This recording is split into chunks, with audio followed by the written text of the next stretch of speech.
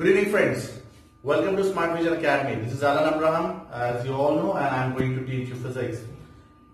Last lecture में हमारा पहला वीडियो था जिसमें हम लोगों ने फिजिक्स स्टार्ट किया है and the chapter we have started is all about electric current through conductor उस वीडियोस में हम लोगों ने देखा कि किस तरीके से हमारा करंट के बारे में हमने देखा है वोल्टेज के बारे में देखा है उसके बाद धीरे धीरे रजिस्टर्स को देखा है हम लोगों ने ठीक है करंट्स कैसे फ्लो होता है, ये थोड़ा सा आइडिया देखा एंड उसके बाद हम लोगों ने कलर कोडिंग्स के बारे में देखा था कि कलर कोडिंग्स क्या क्या होते हैं। रजिस्टर्स की अगर हमें वैल्यू कैलकुलेट करनी है तो कलर कोडिंग्स क्या होती है? तो फिर, और हम लोगों ने टेबल बनाया था। फाइन ना अभी उस कलर कोडिंग वाले पार्ट को थोड़ा सा साइड में रखते हुए, हम लोग अभी देखते हैं दो important parameter that is called as KVL and K C L Kirchhoff voltage law and Kirchhoff current law हम लोग वापस करंट बोर्डिंग पे आएँगे बट फ़िलहाल अभी ये वाले टॉपिक पे ध्यान दीजिएगा, ठीक है? ना first of all K V L stand for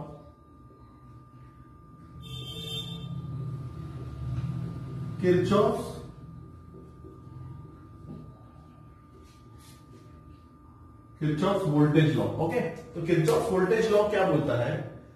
दी एलियाब्रिक्स में ना क्लोज लूप अब यहाँ पे जो वर्ड आ रहा है लूप में डेफिनेशन आपको फिर से लिखा के दूँगा फाइंड टू अंडरस्टैंड जब हम लोग यहाँ चीज़ पे जा रहे हैं केवीएल और हम लोग दोनों चीज़ देखते हैं, अभी Kirchhoff's current law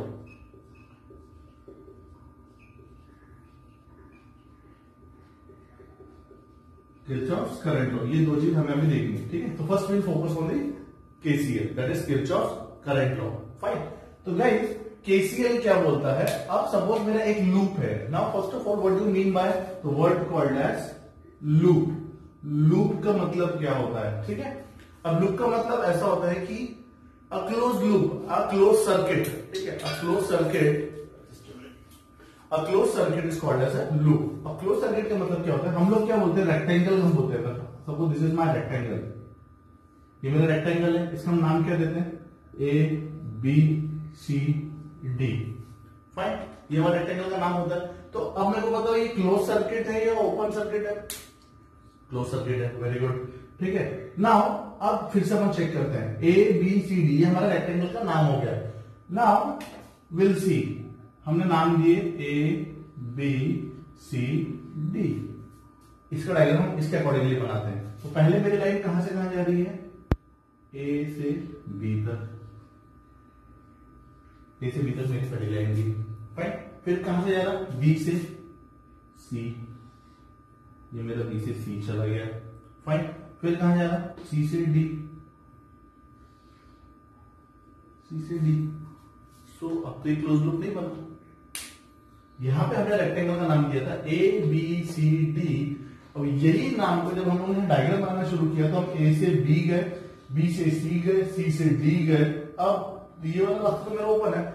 अगर मैं ऐसी सर्किट कहीं यूज़ करता हूँ और इसमें से अगर मेरा करंट फ्लो होता है तो यहाँ से आई आएगा। ये ब्रांच में भी आई फ्लो होगा, ये ब्रांच में भी आई फ्लो होगा बट यहाँ तो कोई ब्रांचिंग है। Is no bridge between this two terminal between B and A तो यहाँ से करंट फ्लो होगा क्या? नहीं होगा। करंट फ्लो नहीं होगा। करंट नहीं होने वाला, यहाँ पे मेरा करंट क्या हो गया? डेड हो गया। यहाँ पे करंट क्या हो गया? मेरा डेड हो गया। और इसको हम लोग बोलते हैं ओपन सर्किट इसको हम लोग क्या बोलते हैं? ओपन सर्किट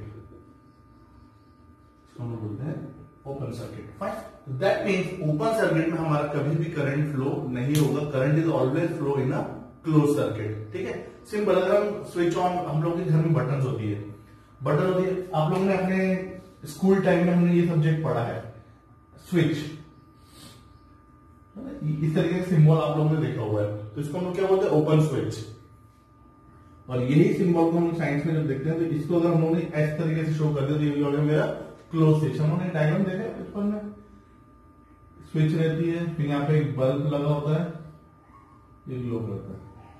अगर ये स्विच क्लोज हो गई, यहाँ से करंट फ्लो होगा, यहाँ पे और एक चीज़ लगी रहती है वो भी बता हूँ supply voltage battery plus minus अब मेरी बैटरी कनेक्टेड है। बैटरी के अगर मैं स्विच करना तो हमारे घर में सप्लाई आ रहा है, लेकिन मेरे रूम का अगर फ़ैन ऑन करना है फ़ैन की बटन बंद है। यानी मेरा स्विच क्या है। ओपन है। तो स्विच क्या है मेरा। ओपन है। फाइन तो जैसे ही वोल्टेज सोर्स आ रहा है तो हमारे घर में 230 वोल्ट इतना सप्लाई आता है। 230 वोल्ट 50 हर्ट्ज एसी सप्लाई आता है। ठीक है? ट्वेल्थ में अभी चैप्टर चालू है। AC circuit okay 230 volt 50 hertz AC supply इसमें आ रहा है। तो मैंने ये बोला कि हमारे घर में 230 वोल्ट तो आ रहा है, लेकिन मेरे कमरे का पंखा नहीं चल रहा है, मेरे कमरे का फ़ैन ऑन नहीं है। सो इन दैट केस मैं ये बोल रहा हूँ कि स्विच क्या है मेरा? ओपन है। मुझे पंखा ऑन करना है तो मुझे स्विच को क्या करना पड़ेगा? क्लोज करना पड़ेगा। तो मैं वही बता रहा हूँ कि जब हम बटन ऑफ़ करते हैं तो ये मेरा स्विच ओपन हो जाता है, क्योंकि करंट को पाथ नहीं मिलता है फ्लो होने को। लेकिन जैसे ही हम बटन ऑन करते हैं तो मेरा स्विच क्या हो जाता है? क्लोज हो जाता है। ये स्विच ओपन था क्लिज हो गया तो यानी ये पूरा करंट को फ्लो होने के लिए क्या हो गया पाथ मिल गया। ठीक है? तो मैं वही बता रहा था कि जब हम लूप की हम बात करते हैं तो a close circuit is called as loop ठीक है? तो हम कहा है? ए से बी बी से सी सी से डी फिर हमें वापस कहा जाना पड़ेगा? डी से ए तो लूप का मतलब ये होता है कि हम जिस पॉइंट से सर्किट शुरू करते हैं, या जिस पॉइंट से हम अपना कोई पार्ट शुरू करते हैं we need to end at that point only तो हमें वही पॉइंट पे काम खत्म करना होता है। तो जब हम ए से शुरू करके ए पे खत्म करेंगे, तब हम बोलेंगे कि ये मेरा क्लोज्ड लूप है। क्या है ये मेरा? क्लोज्ड लूप है। ठीक है? तो जब हम केवीएल किरचॉफ वोल्टेज लॉ पे आएँगे तो ये लूप का काम हमें वहाँ पढ़ने वाला है। यहाँ तक क्लियर हुआ आपको? फाइन ठीक है? तो किरचॉफ वोल्टेज लॉ में हमें लूप का काम पढ़ने वाला ये हो गया मेरा लूप दूसरा हम टर्म देखते हैं। तो सिंपल सा डेफिनेशन क्या हो गया है? लूप का लूप का डेफिनेशन हो गया a close circuit close circuit is called as loop fine next इसी में आता है हमारा ब्रांच और what do mean by branch ठीक है? जैसे हम लोग कॉलेज में जाते हैं अलग अलग स्ट्रीम में जाते हैं तो हम लोग सिलेक्ट करते हैं सपोज़ कॉमर्स में जा रहे हैं तो हम लोग क्या क्या लेना है? ठीक है, हम बीकॉम ले रहे हैं एम कॉम ले रहे हैं, या whatever other parameters engineering में आते तो इलेक्ट्रॉनिक्स जाना है इलेक्ट्रिकल बनना है मैकेनिकल बनना है तो डिफरेंट डिफरेंट ब्रांचेस होती है, ठीक है? तो सिमिलरली अब ये सर्किट की हम बात कर रहे हैं तो ब्रांचेस है ना क्या होता है कि सपोज़ मेरा ये एक पॉइंट है, और ये एक पॉइंट है, ये पॉइंट के बीच में मैंने एक रजिस्टर कनेक्ट कर दी terminal A and terminal B अब ये मेरे दो टर्मिनल है। और ये जो है मेरा, इसको हम रजिस्टर बोलते हैं, लेकिन we will generalize is called as element सुन के बोलेंगे? Element okay when an element is connected between two terminal दो टर्मिनल के बीच में अगर कोई भी एक एलिमेंट कनेक्टेड है आई रिपीट कोई भी दो टर्मिनल के बीच में अगर एक एलिमेंट कनेक्टेड है तो इस पर्टिकुलर चीज़ को हम बोलेंगे branch. Okay and element can be anything यहाँ पे वोल्टेज सोर्स भी हो सकता है। यहाँ पे करंट सोर्स भी हो सकता है। ठीक है? कैपेसिटर हो सकता है। ये A B A B A B तो ये जब भी हम देखेंगे कि भाई मेरे दो ब्रांचेस के बीच में, दो टर्मिनल के बीच में कुछ भी एलिमेंट कनेक्टेड है स्विच है ओपन ओपन सर्किट है क्लोज सर्किट है वट अगर एक स्विच अगर मैं कनेक्ट कर दूँगा तो यहाँ पे टर्मिनल ए लेता हूँ तो यहाँ पे मैंने अगर सपोज़ स्विच कनेक्ट कर दिया। ए और बी के बीच में एक एलिमेंट क्या कनेक्ट हो गया स्विच हो गया। तो ये जो स्विच आ गया है तो इसको हम क्या बोलेंगे? दिस तो ए एंड बी को मैं क्या बोलूँगा? ब्रांचेस ए और बी को क्या बोलूँगा मैं? ब्रांचेस तो दो चीज़ क्लियर हो गई। तो ये ब्रांचेस का काम हमें केसीएल में पढ़ने वाला है और ये क्लोज लूप का काम हमें केवीएल में पढ़ने वाला है। यहाँ तक क्लियर हो गया? Great now gift the okay branches का डेफिनेशन क्या लिखेंगे आप लोग? When an element is connected when an element is connected between two terminal when an element is connected between two terminal called as branch यहाँ तक समझ में आ गया? ग्रेट ना gift the heading Kirchhoff current law that is K C L K C L Kirchhoff law okay Kirchhoff's current law क्या बोलता है? सपोज़ मैं एक डायग्राम बना लेता हूँ, जल्दी से।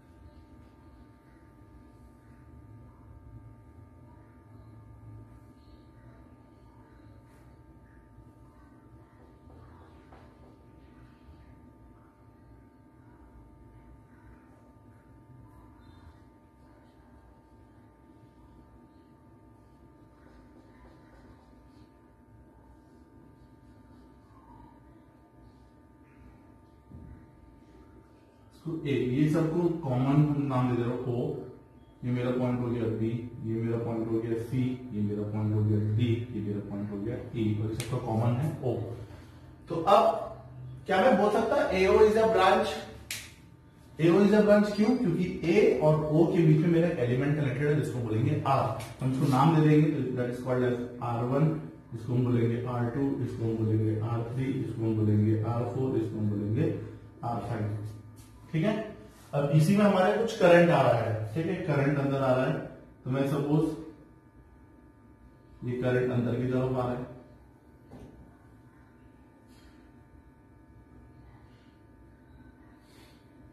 ये करंट भी अंदर की तरफ़ आ रहा है।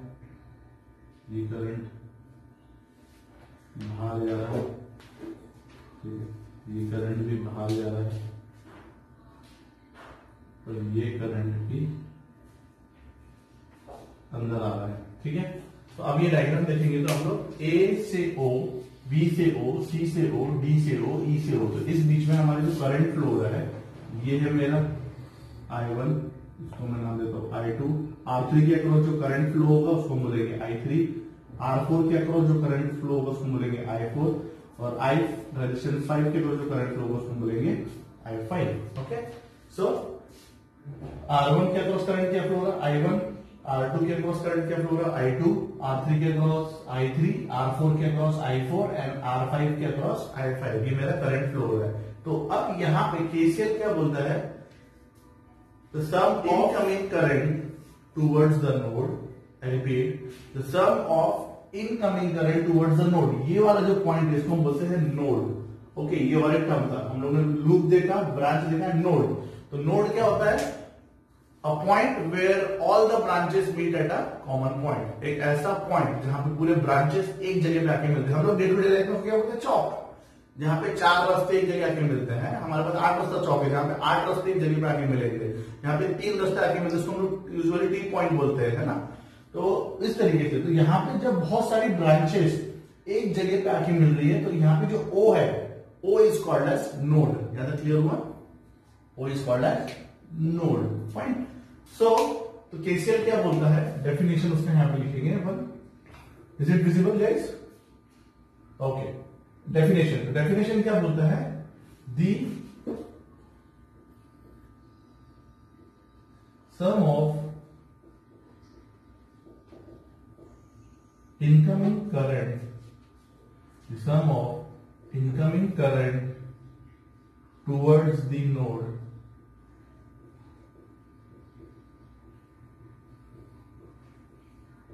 towards the node is equal to the sum of outgoing current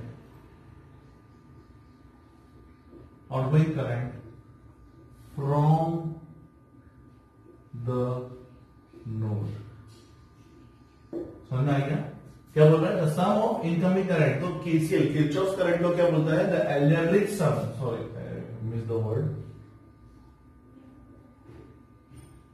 algebraic. The algebraic sum of incoming current towards the node is equals to the sum of outgoing current from the node. समझ में आ गया?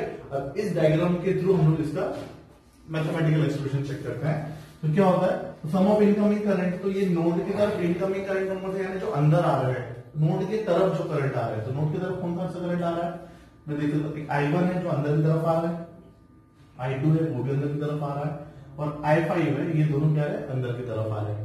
समझे great ना तो यही हो जाएगा मेरा I one plus I two plus I five ये हो गया मेरा सम ऑफ़ इनकमिंग करंट तो स्टेटमेंट के हिसाब से क्या हो? गया element sum of incoming current तो इनकमिंग करंट मेरा क्या था आई वन था आई टू था आई फाइव था. Is equals to the sum of outgoing current अब नोड से बाहर कब जा रहे तो is equals to the of outgoing current from the node तो नोड से बाहर की तरफ़ कौन सा करंट जा रहा है? तो मेरे आई थ्री जा रहा है आई फोर जा रहा है. तो इज़ इक्वल्स जाएगा मेरा I four sorry I three plus I four यहाँ तक विजिबल है आपको? I one plus I two plus I five ये हो गया इसका मैथमेटिकल एक्सप्रेशन अब, अगर मैं आई थ्री को is equal is equal to के उधर लेके जाता हूँ तो मेरा टर्म क्या हो जाएगा मेरा? I one plus I two ये आई थ्री इधर आ जाएगा तो क्या हो जाएगा। Minus I three minus I four plus I five is equal to zero तो इसको इक्वेशन नंबर वन दो, इसको इक्वेशन नंबर टू दो। समझ में आ गया था तो इसी का दूसरा डेफिनेशन क्या बोलता है? All the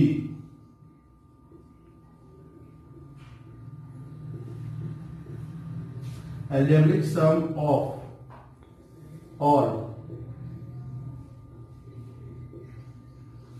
all incoming current and outgoing current is equal to zero हमने जस्टिफाई कर दिया है, ठीक है?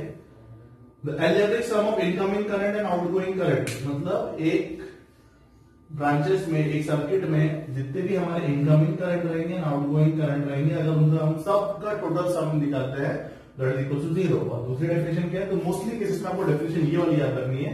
The algebraic sum of incoming current towards the node is equal to the sum of outgoing current from the node remember the word है ना? तो i1 plus i2 plus i5 ये हमें ध्यान में रखना है। I1 plus i2 plus i5 is equal to i3 plus i4 और पूरा अगर प्लस i3 को मैंने इधर लाया तो क्या हो जाएगा? माइनस i3 और i4 को मैंने यहाँ ला तो मेरा क्या हो जाएगा? माइनस i4 यानी तो इक्वल टू जब मैं पूरे टर्म्स में आ तो इक्वेट करेंगे, हमको मालूम है। We always equate the equation with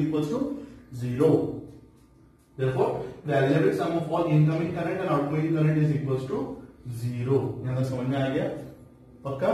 fine okay जल्दी से अपन एक केवीएल भी देख लेंगे छोटा सा। और हम हम अगले अपने वीडियोस में अगले वीडियोस में हम लोग इनके न्यूमेरिकल्स देखेंगे। ठीक है, अब केवीएल क्या बोलता है? केवीएल कुछ का डायग्राम कुछ इस तरीके से होता है सपोज़ ये मैंने वोल्टेज सोर्स लगाया। ये रेजिस्टर है, ये वोल्टेज है, ये रेजिस्टर है, फिर रजिस्टर है वोल्टेज है।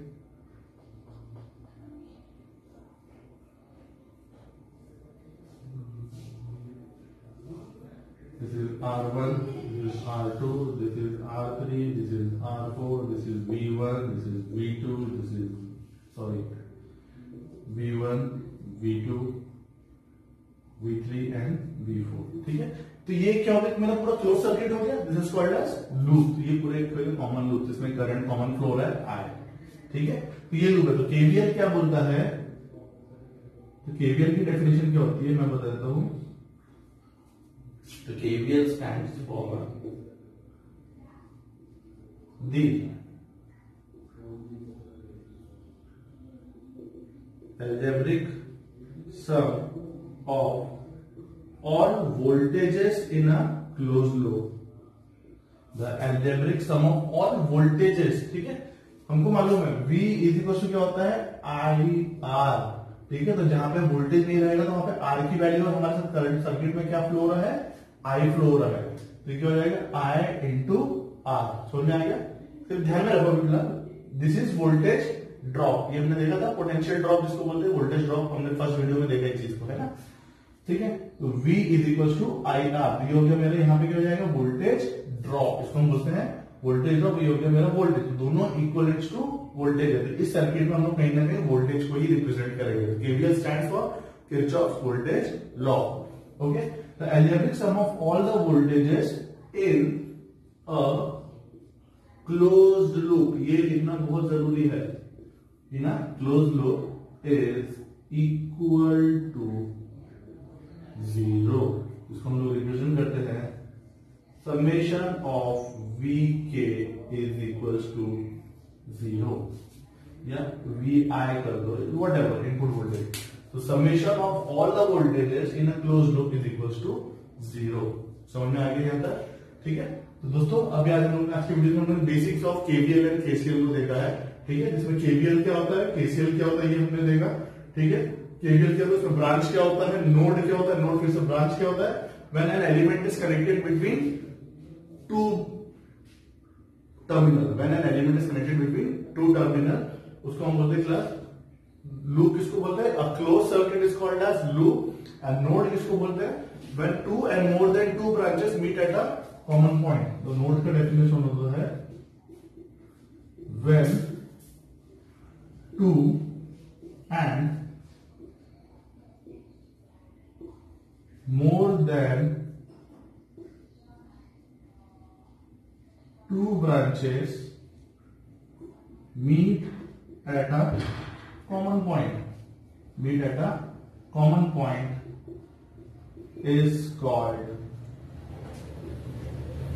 is called node. Okay? So guys, आज हम लोग यहीं पे स्टॉप करते हैं। ठीक है? यहाँ पे स्टॉप करने के हमने आज के देखा ब्रांच क्या होता है नोड क्या होता है लूप क्या होता है केबीएल क्या होता है केसीएल क्या होता है। अगर कुछ भी इससे रिलेटेड आपको डाउट आता है तो you can ask me any time okay तो that's all for today thank you very much guys stay home stay safe